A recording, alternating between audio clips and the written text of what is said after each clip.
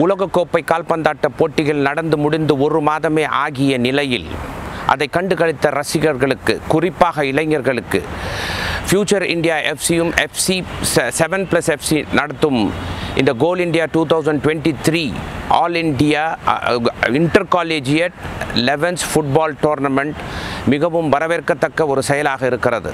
ஏனென்றால் கடந்த நான்கு ஆண்டுகளாக எந்த லீக் போட்டிகளும் நடத்தாமல் இது போன்ற விளையாட்டு போட்டிகள் நடத்துவது இந்த இளைஞர்களுக்கு மிகப்பெரிய ஒரு வாப் வாய்ப்பை உருவாக்கும் என்பதில் எந்தவித மாற்று கருத்தும் இருக்க முடியாது.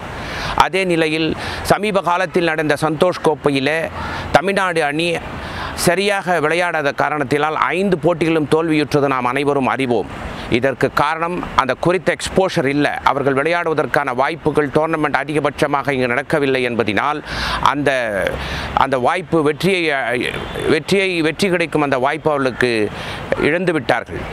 இது போன்ற விளையாட்டு போட்டிகள் நடத்துவதினால் அந்த விளையாட்டு வீரர்களுக்கு மிகச்சிறந்த ஒரு வாய்ப்பை உருவாக்கி தரும். ஏனென்றால் இந்த இளைஞர்கள் இந்த வயது ஒரு டிரான்ஸ்ஃபர்மேஷன் பீரியட் டிரான்ஸ்ஃபர்மேஷன் பீரியட்னா பல அகாடமிகளிலிருந்து வரக்கூடிய அந்த விளையாட்டு வீரர்களுக்கு இது போன்ற விளையாட்டு போட்டிகள் தான் ஒரு டிரான்ஸ்ஃபர்மேஷனை உருவாக்கும். குறிப்பாக காலேஜில் படிக்கிற பசங்களுக்கு.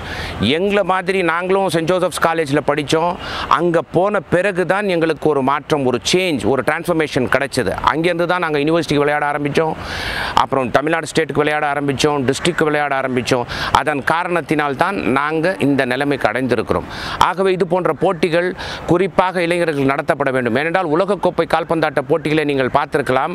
பதினேழு பதினெட்டு வயதை அடைந்த வீரர்கள் எல்லாம் உலகக்கோப்பையில் விளையாடினால் குறிப்பாக ஜெர்மனியில் விளையாடிய ஜமால் முசாலியா இங்கிலாந்தில் விளையாடின ஜோர்டு பெல்லிங்ஹாம் பிரான்ஸில் விளையாடின ஷொமானி இவர்கள் எல்லாம் பதினேழு பதினெட்டு வயதை சேர்ந்த மிகச்சிறிய வயதை உடையவர்களே.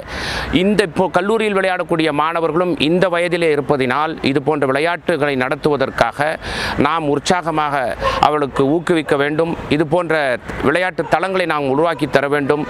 இந்த விளையாட்டு போட்டிகளை யார் வடிவமைத்திருக்கின்றார்களோ அவர்களுக்கு மிகப்பெரிய க- ஒரு பாராட்டுகளை நாங்கள் தெரிவித்துக் கொள்கிறோம். ஏனென்றால் இதுபோன்ற விளையாட்டுப் விளையாட்டு போட்டிகளுக்கு முன்னால் இந்நாள் விளையாட்டு வீரர்கள் பக்கபலமாக இருந்து உற்சாகப்படுத்த வேண்டும். ஏனென்றால் விளையாட்டு பொழுதுபோக்காக இருந்தது போக இப்போது தொழிலாக மாற இருக்கிற நிலையில் இது போன்ற விளையாட்டு போட்டிகள் நிச்சயமாக நடக்க வேண்டும் என்பதில் எந்த மாற்று கருத்தும் இல்லை.